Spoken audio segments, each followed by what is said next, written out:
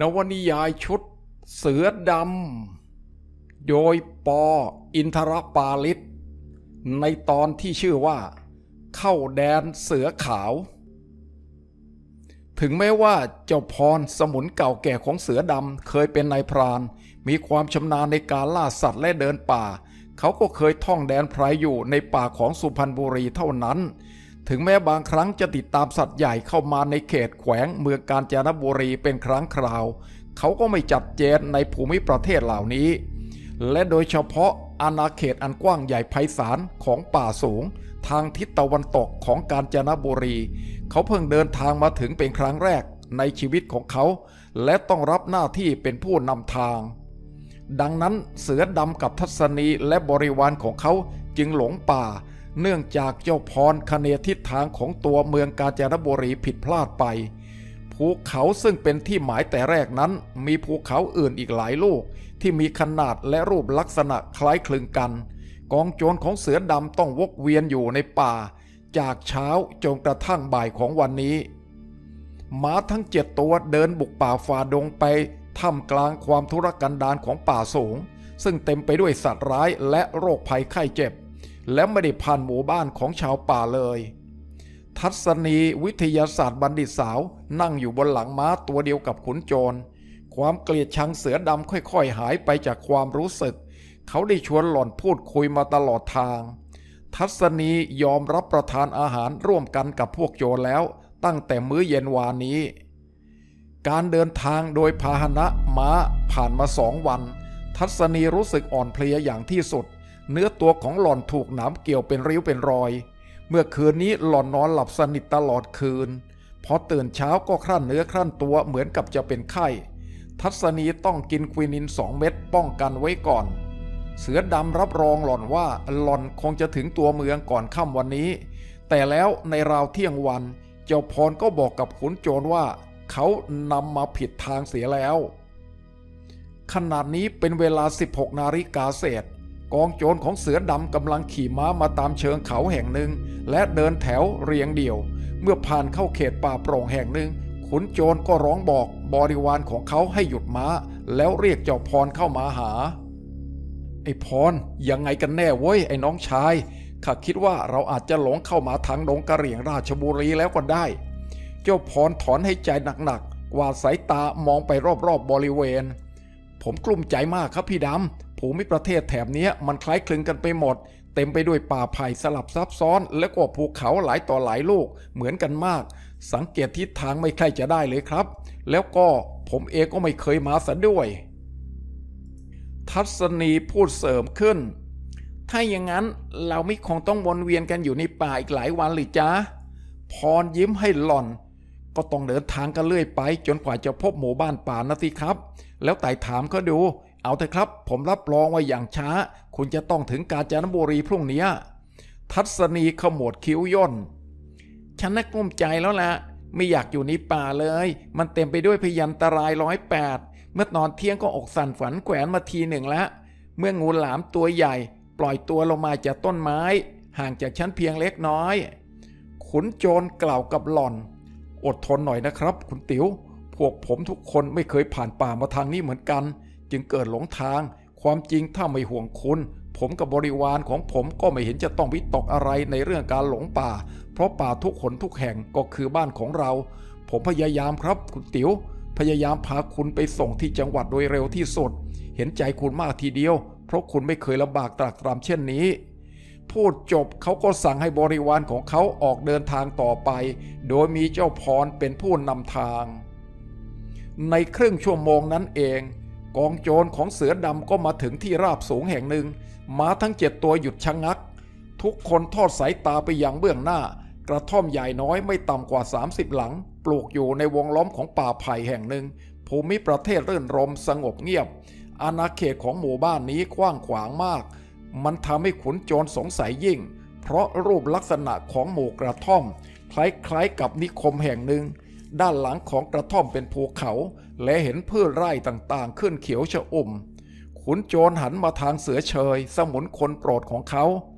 ไอเชย กระท่อมที่เห็นเนี่ย เองเข้าใจว่ายังไงว่าน้องชาย เชยนิ่งอึ้งไปสักครู่แล้วพูดอย่างเป็นงานเป็นการ ผมว่าไม่ใช่หมู่บ้านชาวป่าหรอกครับพี่ดำพวกกะเรียงหรือพวกชาวป่า ไม่ได้สร้างที่พักเป็นระเบียบเรียบร้อยอย่างนี้ อาจจะเป็นนิคมของทางราชการก็ได้ พี่ดำกับพวกเราอีรออยู่ที่นี่แหละครับ ผมจะปลดอาวุธออก แล้วพาเจ้าพรไปที่หมู่บ้านนั่น เพื่อไต่ถามถึงทางไปเมืองการ หากพวกเราแห่กันเข้าไปหมดเนี่ย พร้อมด้วยอาวุธปืนก็คงจะเปิดปะทะกันขึ้นแน่ๆ เสือดำโบกมือ ไม่ต้องหลอกเชยข้ากับคุณทัศนีจะเข้าไปเอง ข้าจะได้บอกกับคนพวกนั้นว่าข้าเป็นคนของท่านเจ้าคุณโลหะกิจ และเล่าเรื่องที่ท่านเจ้าคุณถูกพวกโยนพม่าปล้อนให้เขาฟัง เขาคงจะช่วยชี้ทางให้ พูดจบก็พูดกับทัศนี ลงจากหลังม้าเดิมไปกับผมเถอะครับ ระยะทางแค่ 500 เมตรเท่านั้นแหละจ้าไปสิจ้าฉันคงมีหวังกลับกาญจนบุรีแล้ว เมื่อเข้าไปถึงหมู่บ้านนั้น ฉันจะเรียกเธอว่ายังไงเสือดำเขาหัวเราะ เรียกรพินก็ได้ครับ ทั้งสองพากันลงจากหลังม้า พวกบริวารของเขาต่างลงจากหลังม้าเช่นเดียวกัน จอมโจรปลดทอมสันส่งให้เสือเชย และถอดเข็มขัดปืนพกส่งให้สวัย ให้สมุนของเขารอคอยอยู่ที่นี่ ต่อจากนั้นเขาก็พาหล่อนเดินตรงไปยังหมู่กระท่อมที่มองเลยเห็นอยู่ข้างหน้าโน้นณบัดนี้เสือดำได้เหยียบย่างเข้าในดงเสือร้ายแล้ว ป่าตอนนี้อยู่ในดินแดนของจังหวัดราชบุรี และห่างไกลจากจังหวัดมาก เป็นถิ่นฐานอันแสนกันดารไม่เคยปรากฏว่ามีเจ้าพนักงานบุกป่าฝ่าดงมาถึงที่นี่เลย นอกจากพวกโจรชั้นไอเสือที่พาบริวารผ่านไปมา และแวะพักอาศัยอยู่ที่นี่เป็นการชั่วคราว มันเป็นถิ่นของเจ้าพ่อราชบุรีหรือเสือขาว ขุนโจรผู้มีอิทธิพลใหญ่ยิ่ง มีบริวารหลายสิบคนและมีอาวุธทันสมัย เสือขาวกระเหรี่ยงหนุ่มชะกันมีอายุ 23 ปีเท่านั้น ร่างสูงใหญ่ ผิวเนื้อขาวสมชื่อ พูดภาษาไทยได้ชัดเจน เป็นจอมโจรที่ประชาชนราชบุรีและเพชรบุรีหวาดเกรงอย่างที่สุดนานๆ เสือขาวก็พาบริวารบุกเข้าในราชบุรี หรือเพชรบุรีครั้งหนึ่ง เปิดฉากการปล้นอย่างดุเดือด แล้วก็พาสมุนของเขา กลับมาหลบซ่อนตัวอยู่ในป่านี้ ช่วยกันทำเพื่อไร่ผักต่างๆทำน้ำมันยางเสาะแสวงหาของป่าไว้ขาย เสือขาวไม่พยายามปล้นบ่อยครั้ง บางทีเกือบครึ่งปีถึงจะปล้น วิธีปล้นของเขา ส่งสายลับเข้าไปในเมืองก่อน สืบดูจนรู้แน่ว่า ใครบ้างที่เป็นธนบดีที่มั่งคั่ง มีเงินทอง พอที่จะทำการปล้นได้ แล้วเสือขาวก็ยกบริวารเดินทางไปด้วยม้าทำการปล้นอย่างอุกอาจนายโจรชาวกะเหรี่ยงผู้นี้เป็นที่รักใคร่ของพวกบริวารทั้งหลาย เขาสามารถควบคุมบังคับบัญชาไพร่พลของเขา ให้มีความเป็นระเบียบเรียบร้อย มีสามัคคีธรรมต่อกัน สมุนโจรแทบทุกคนมีครอบครัวแล้ว ถ้าหากว่าเจ้าหน้าที่ตำรวจเดินทางมาตรวจค้น เสือขาวกับบริวารของเขาก็แสดงตัวเป็นชาวป่า มีอาชีพในทางทำไร่และขายของป่า ดังนั้นบริวารทุกคนจึงต้องทำไร่และสะสมของป่า เช่นเขากวาง หนังสัตว์ และเครื่องสมุนไพร ไว้สำหรับตบตาเจ้าพนักงาน ท่ามกลางของหมู่บ้านแห่งนี้ ชายชราคนหนึ่งซึ่งเป็นชาวกะเหรี่ยง และเป็นลุงของเสือขาว ได้เปิดร้านจำหน่ายสุราและอาหารขึ้น มีอาหารแห้ง เครื่องอุปโภคบริโภคบางอย่างจำหน่ายด้วย เพื่อให้สมุนได้รับความสุขสะดวกสบาย ในราวครึ่งเดือน ลุงแฉ่งก็เดินทางเข้าเมืองโดยเกวียน หาซื้อสินค้าเครื่องอุปโภคต่างๆ พร้อมด้วยสุรานำมาขายโดยเอากำไรเพียงเล็กน้อยหมู่บ้านนี้มีความสำคัญยิ่งแก่พวกโจรคณะต่างๆ ที่เดินทางผ่านมา ตลอดจนนักล่องป่าแสวงหาโชคลาภ ซึ่งพากันมาพักผ่อนที่นี่ ซื้อเหล้าและอาหารกิน หมู่บ้านนี้อยู่เหนือกฎหมาย อำนาจสูงสุดอยู่ที่เสือขาว เจ้าหนุ่มชาวกะเหรี่ยง ซึ่งเป็นนักต่อสู้ที่มีฝีมือเยี่ยมคนหนึ่ง เขาปกครองบริวารของเขาอย่างเผด็จการ เสือขาวเป็นจอมโจรที่กล้าหาญชอบเผชิญภัย ชอบขี่ม้าและยิงปืนแม่น ไม่รู้จักความกลัวและความตาย ใบหน้ายิ้มแย้มแจ่มใสตลอดเวลา ใจคอโอบอ้อมอารีมาก รักลูกน้องทุกคน แต่บางครั้งถ้าลูกน้องของเขาทำผิด เสือขาวก็ยิงทิ้งอย่างง่ายดาย เขาเริ่มเป็นไอเสือตั้งแต่อายุ 20 ปี บริวารของเขาส่วนมากเป็นคนไทยที่หลบหนีคดีอาญามาอยู่กับเขา ทุกคนจงรักภักดีต่อเขามาก ตามเวลาที่กล่าวนี้ที่ร้านเหล้าและอาหารของลุงแฉ่ง เสือขาวกับบริวารของเขากำลังคลึกครื้นรื่นเริงกัน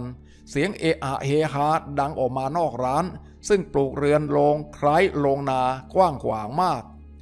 เสือดำพาทัศนีผ่านหมู่บ้าน ตรงมาที่ร้านเหล้าของลุงแฉ่งบริวารของเสือขาวหลายคนพากันมองดูเขาอย่างแปลกใจ ต่างคิดว่าเสือดำกับทัศนีคงเป็นพวกชาวพระนครที่มาสำรวจป่า เพื่อค้นหาทรัพย์ในดิน เช่นดีบุกหรือทองคำ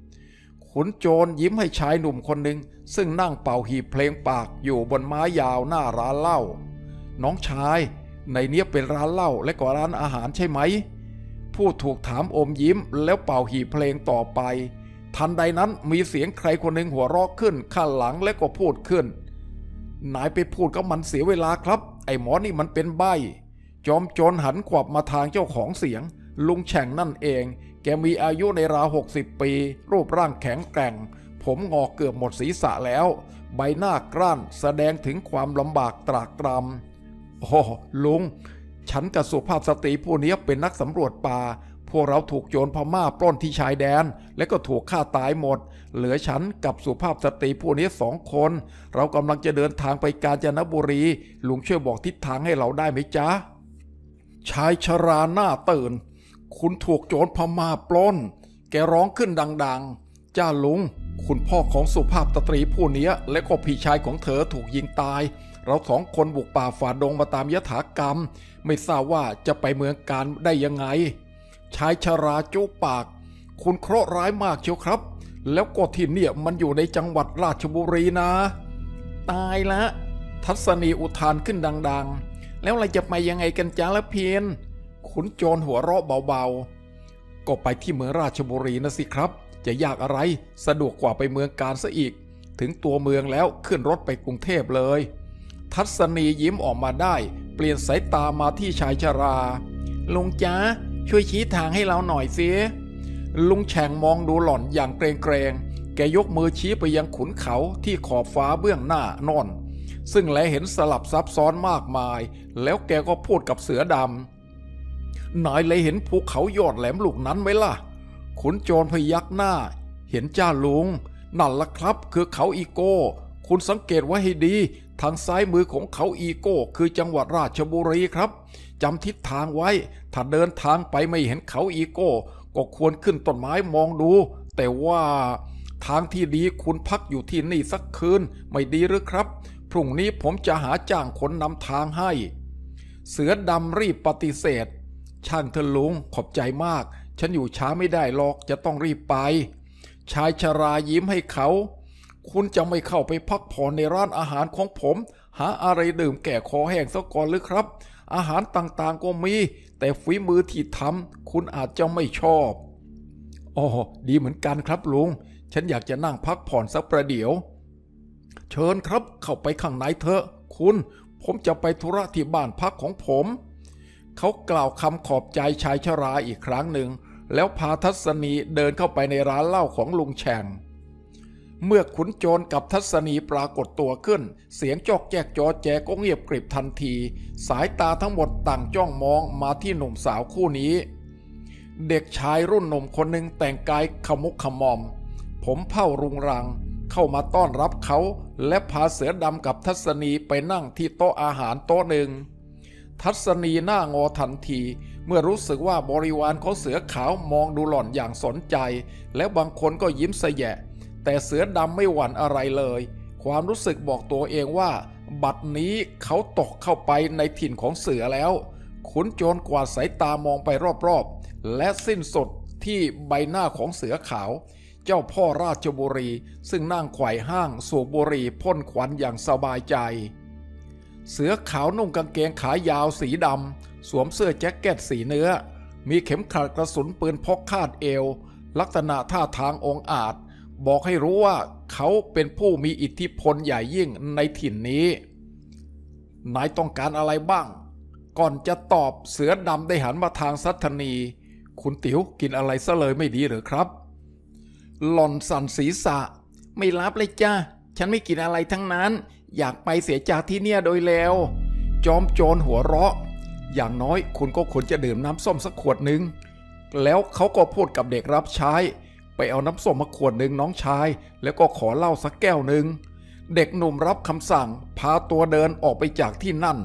ทันใดนั้นเสียงห้าวๆของใครคนหนึ่งก็ดังขึ้น กวนแข่งจริงเว้ยขุนโจรหันกวับมาทางโต๊ะขวามือ ชายชะกันทั้งสี่คนหัวรอกเคริน และเจ้าหนุ่มร่างใหญ่คนหนึ่งซึ่งเป็นลูกน้องคนสนิทของเสือขาว ได้พยักหน้ากับเสือดำบอกความเป็นนักเลงเต็มตัว มองอะไรเพื่อน เสือดำผุดลุกขึ้นยืนทันที เดินตรงมาที่โต๊ะของบริวารเสือขาว หยุดยืนเผชิญหน้ากับเจ้ายักษ์ใหญ่ แกว่าใครกวนแข้ง เจ้านั่นตอบยิ้มยิ้มๆว่าแกนะสิวะ ยังจะสงสัยอีก แล้วมันก็ลุกขึ้นยืนทำไมเหรอหรือว่าจะเอาเรื่อง เสือดำหัวเราะ พี่ชายอย่าให้มันโตนักเลยว่าแกเป็นเจ้าของถิ่นกันเป็นคนแปลกหน้าที่เดินทางมา แล้วไม่ได้คิดจะเป็นศัตรูกับแกเลย ที่พูดอย่างนี้นะไม่ได้หมายความว่ากันกลัวแกหรอก แข้งแกถึงแม้จะใหญ่กว่าแข้งกัน แต่ถ้าแกโดนตีนกันเข้า แกก็พับไปเหมือนกันอะเจ้ายักษ์ใหญ่อุทานลั่นพูดอย่างนี้ก็ชกปากกันท่านั้นและวะ พูดจบหมัดขวาของไอ้ยักษ์ใหญ่ก็ลั่นปังออกจากช่วงแขนอันล่ำสัน กระแทกกรอบเข้าที่ปลายขางของคุณโจรอย่างถนัดทนี เพราะเขาไม่ทันระวังตัว เป็นครั้งแรกที่เสือดำถูกหมัดเด็ดเต็มรัก ร่างของเขากระเด็นหวือเซถลาไปชนโต๊ะตัวหนึ่ง ล้มลงทั้งโต๊ะทั้งคน เสือดำก้นกระแทกพื้น หูอื้อในตาพร่าพราวบรรดาสมุนโจรของเสือขาวผุดลุกขึ้นยืนทันที แต่เสือขาวนั่งจิบเหล้านิ่งเฉย คล้ายกับว่าเหตุการณ์ที่เกิดขึ้นนี้ ไม่มีความสลักสำคัญอะไรสำหรับเขา ทัศนีอกสั่นขวัญแขวนตกตะลึงพึงเพลิดหลอนจ้องตาเขม็งมองดูเสือดำเขายกมือลูกคลำคางของเขา และสะบัดหน้า ไอ้ยักษ์ใหญ่หัวเราะลั่น ถูมือไปมา ไงไอ้น้องชายโดนหมัดเข้าเบาๆเท่านั้นพังงะหงายไม่เป็นท่าเชียวเฮเสือดำยิ้มเล็กน้อย เขาผุดลุกขึ้นยืนทันทีร้องประกาศก้อง กูก็ชายชาติเสือคนหนึ่งเดี๋ยวนี้กูรู้แล้วว่ากูตกเข้ามาในถิ่นเสือ แต่เสืออย่างกูที่จะยอมจำนนหรือว่าล่าถอยเนี่ยอย่าเพิ่งนึก ถึงแม้พวกมึงจะรุมกันกัดกูก็น่าจะฝากหลายเสือของกู ให้เพื่อมึงรู้ไว้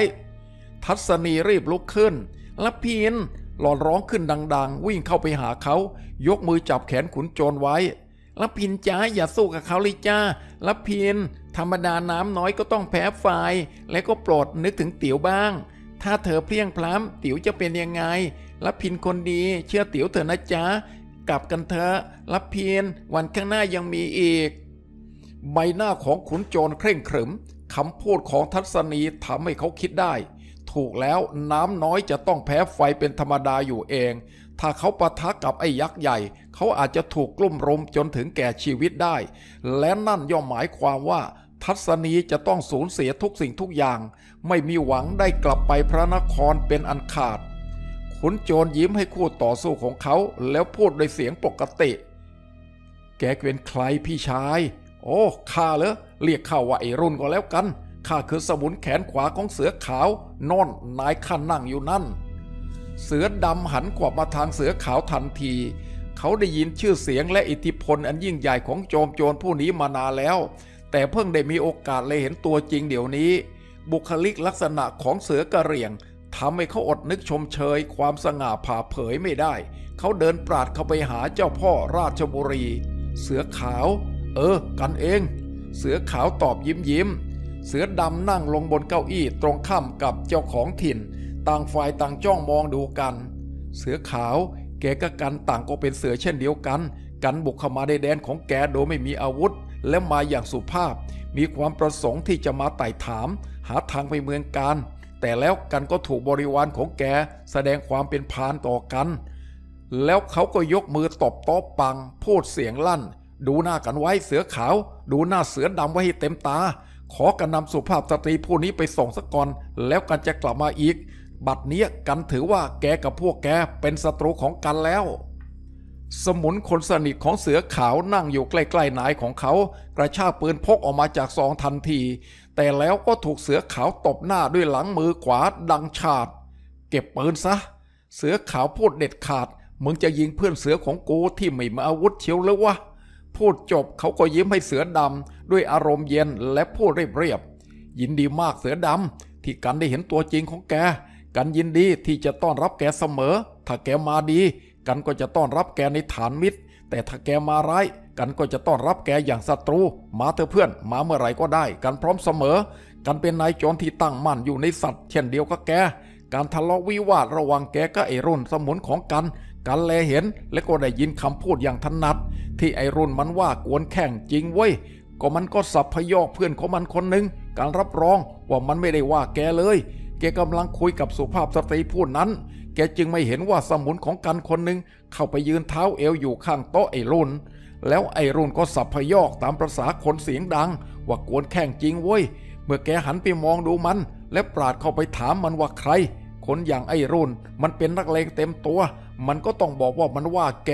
นี่แหละกันจึงนั่งดูเฉยอยู่ ไม่ใช่ว่ากันจะเข้าข้างลูกน้องของกันฮะเสือดำแกก็กันอย่าคิดหักล้างกันเลยนะ พี่ชาย เราต่างเป็นโจรและก็เป็นเสือด้วยกัน ไอรุ่นมันล่วงเกินรุนแรงไปบ้าง ให้อภัยมันเถอะ